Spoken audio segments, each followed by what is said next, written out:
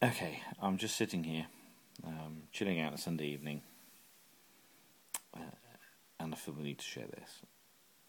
Okay, um, like most of us, when I was very, very young, you know, we're talking four, five, six, seven, yeah, I'm bred with a need to be accepted. Okay?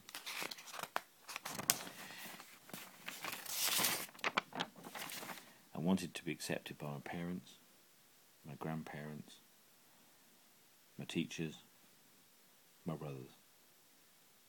Okay? And basically, they more or less said to me, especially my grandparents, they said to me, said to me, if I do this, and they listed it, I will be accepted by them. Okay, so if I did it, I'd be accepted. And my need to be accepted, then I gave it my best try I possibly could have done. Okay? So I tried. Boy, did I try. And I tried again. Okay? But my dyslexia, looking back on it now, because when I was younger, the didn't the term ADHD didn't exist. But I had ADHD. Asperger's slash autism spectrum. I was on it. And those things meant that I couldn't. I couldn't meet the requirements of the teachers, my parents, my grandparents to be accepted. Especially my grandparents. They rejected me. That's what it felt like to me. I couldn't meet the terms of their acceptance. So I felt rejected. And we're talking a young age here. We're talking 10, 11, 12. Trust me, this is a world of hurt. Okay? And I've met other 16, 17 year olds in this world, and they're in the same place, in a world of hurt. It is not a bad place, good place. It's a sad, lonely, dark place.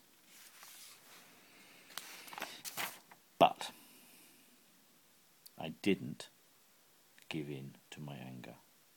I don't know why, but I didn't. Maybe there's something. I don't know. I don't know. I, I do know as I got older, the key to not giving in to my anger was meeting my wife, Debbie. Without her, I could have given in to anger but I didn't. Instead, I have spent my life seeking peace. And what I've done, and obviously I'm talking straight from the heart here, so it's not flowing like it normally would. Uh, and I found that peace basically by making myself emotionally self reliant. Okay? Emotional self reliance has helped me find my peace. I now have a um, great relationship with my parents. I'm, I'm, the anger's gone. I'm happy. I'm content